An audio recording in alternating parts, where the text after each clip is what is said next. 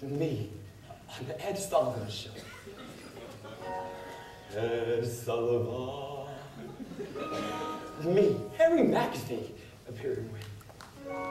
Ed Sullivan.